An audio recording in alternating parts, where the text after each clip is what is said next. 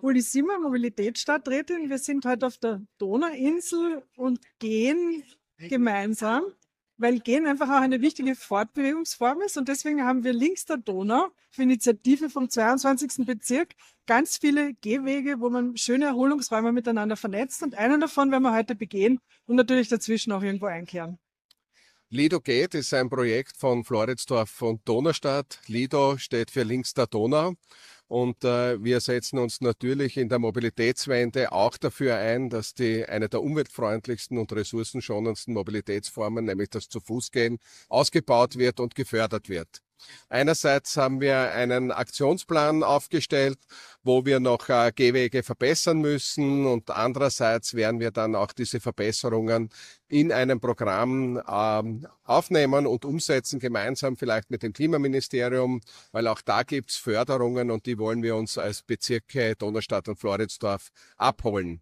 Das sind oft äh, ganz kleine Maßnahmen, Fußwegeverbindungen, wo noch Lücken sind, zu schließen oder auch äh, mehr Bankerl aufzustellen an Schattenplätzen, damit auch ältere Leute, die viel mehr zu Fuß unterwegs sind als junge, äh, dazwischen auch einmal rasten können, um auch äh, Strecken gut bewältigen zu können. Hallo, mein Name ist Benjamin Schulz, ich bin Abgeordneter zum Wiener Landtag und Gemeinderat und wir befinden uns heute hier auf der Copa Beach. Eine Veranstaltung Lido geht, das heißt links der Donau und heute besteht innerhalb von zwölf Stunden die Möglichkeit, Floridsdorf und auch die Donaustadt zum Runden zu begehen.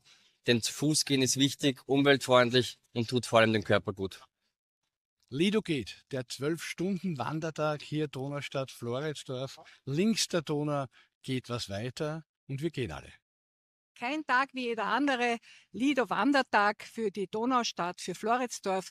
Äh, und als Sprecherin der Fußgänger bin ich wirklich glücklichst, dass wir heute so einen Tag durchführen und wir werden weiter dranbleiben, die Sache ausbauen, denn Mobilität ist ein wichtiger Faktor auch fürs zu Fuß gehen, um die Leute zu motivieren. Unsere ureigenste Form der Fortbewegung und daher super. Geht's und schaut euch diese Natur an.